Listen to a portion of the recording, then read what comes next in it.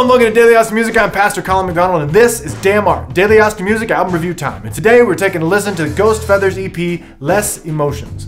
Now the first track, Leg Lock, starts off with a common lo-fi theme, a nice melody, and a hooky guitar part. The first thing I notice is that the drums are not over J Dilla'd, meaning that they're still close to what we would call on the grid, but still have a nice feel to them. The keys are kind of a generic lo-fi pad sound and piano chords played to a loop.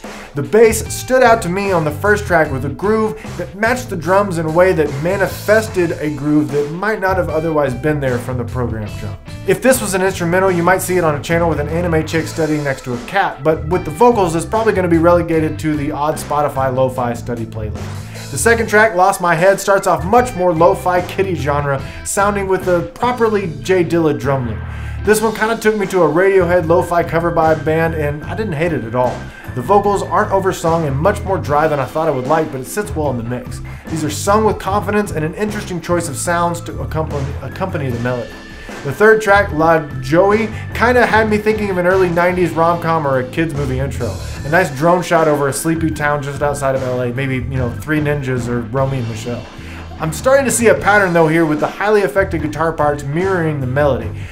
It's used to great effect, if not overdone a bit, three songs into a five song EP. The bridge section introduced a new drum feel for a few measures, which brought my attention back to the underlying bed. And this is the least lo-fi one so far. Still with a strong melody and guitar playing, it kind of takes it a little farther down a Martin Knopfler cover band road. The fourth track, Lo-Fi Love Affair, sounded a lot like a lo-fi soundtrack you'd see on 45 different playlists on Spotify. The bass was nice, again with the over-affected guitar, and this one had a bit of an oversung vocal compared to the others, but the feeling comes across well. This one waited for the chorus to dilla up the drums, leaving the verses more straight, and I really liked that. It was different.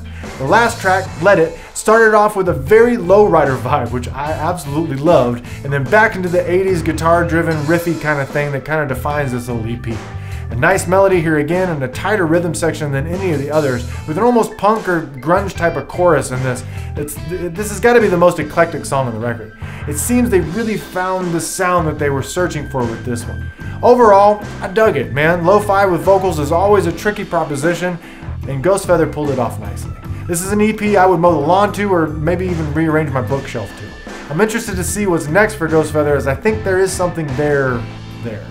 Alright, that's it for Damn Art. Please buy and share and stream this music wherever you can. And don't forget, do more, better, faster. Thank you so much for watching. I love you, and there's nothing you can do about it.